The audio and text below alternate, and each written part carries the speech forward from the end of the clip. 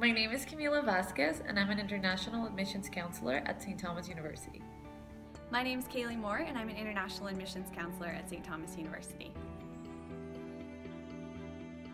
We're the only Canadian university that specializes exclusively in the undergraduate liberal arts, which means you would find amazing highlight programs in the humanities and the social sciences. So if you're interested in going on to law school, St. Thomas has an amazing opportunity for you called Moot Court. It's a US simulated Supreme Court system. So you'll get international travel experience. Uh, this year we made it to the championship in California, so we're really proud of our team. We also have an opportunity for students interested in business. We have a partnership with the Harvard School of Business.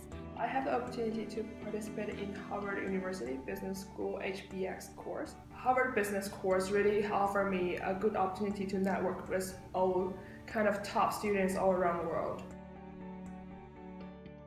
We cap our classes at 60 so you can always have a discussion based seminar style classroom experience where you can learn not only from your professors but from your peers and from yourself. St. Thomas is such an active community and such an active campus that you will always find something to do here, whether it is running to be grad class president or being part of the students union or just forming your own club or society. One of the ways that you can get involved here on campus is by participating in the International Student Association, which is ISTUISA. They put together the buddy system, they teach you where the mall is, how to run, like how the bus system runs. They are in charge of promoting and organizing the Multicultural Fair, which is a night where we actually get to showcase and show our community our true colors. So our traditional clothing, our traditional food, what do we dance to, what do we listen to, what do we eat, everything. We just share everything from back home. The biggest reason I choose to is because the community here is so supportive and they always open arms to all international students with no bias.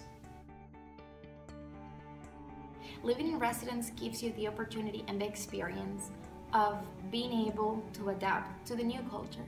My experience was so unique that I wanted to be part of Life, and I wanted to be that residence advisor that greets that international students that's super anxious to know where they're gonna live. So this year I was part of Residence Advisor. I lived in Vanier Hall, which is an all ladies uh, residence. We pick you up at the airport and meet your parents and it's so much fun and if you come alone, don't worry, we'll make sure you're all settled into residence and ready to go for the year.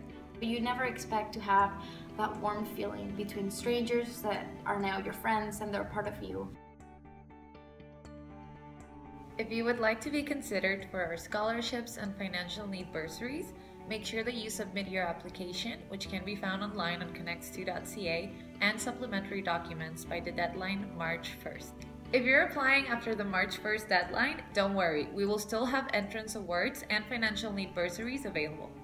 If you have any questions about scholarships, country-specific requirements, English proficiency scores, or study permits and visas, make sure to visit us at stu.ca slash international.